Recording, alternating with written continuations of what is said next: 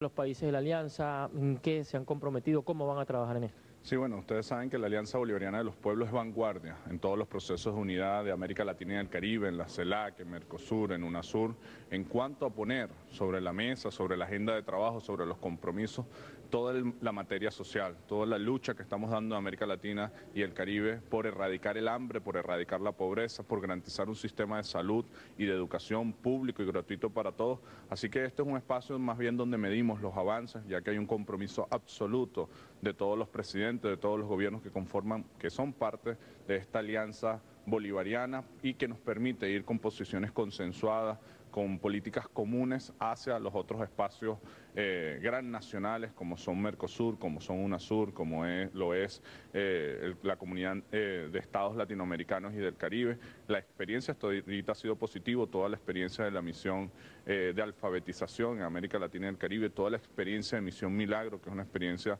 de mucho interés a cada uno de los países donde vamos, de los pueblos, toda la lucha que se está dando América Latina y el Caribe en la erradicación del hambre, estamos muy satisfechos. Es importante destacar que paralelo a esto se hizo una cumbre de movimientos sociales de los pueblos. En esa cumbre nos representaron las ministras de Mujer y de Comunidades Indígenas, que hoy se encuentran acá en la reunión de presidentes, de ministros, y bueno, también fue muy positiva la relación, ellas pudieron exponer la experiencia de Venezuela, todo lo que se está haciendo en avances en el derecho de la participación de la mujer, de las comunidades indígenas, de cómo nos están ayudando estos sectores a salir de la pobreza. Si de algo tiene rostro la pobreza, es de comunidades indígenas y de mujeres en nuestro continente. Así que esta batalla, esta lucha que nos indicó el comandante Chávez, y que estamos dando con mucha fuerza porque América Latina y el Caribe sea un continente donde reine la felicidad, la seguridad y la estabilidad política, es una batalla que nos convoca a todos y donde estamos dando pasos agigantados. ¿Qué se avanzó o qué falta por hacer? ¿Qué se ha discutido? ¿Cuál es la posición a partir de esta cumbre